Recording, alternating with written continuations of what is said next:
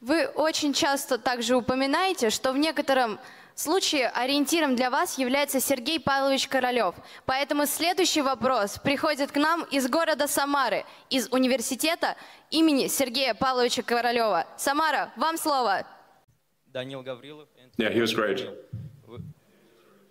Uh, do you hear me, Elon? I can, yeah, I think so. That's great. Uh, also, we are members of uh, Space uh, Construct Bureau Rocket Lab, and we design and launch rockets in Russia and France in Sea Space Forum every year. And our question.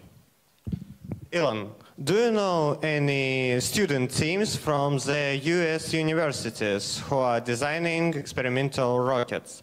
And uh, do you support them?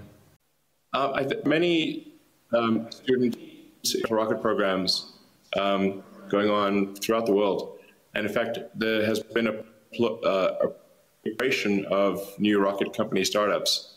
Um, it, it is uh, I think, relatively easy to get to, to space, but hard to get to orbit.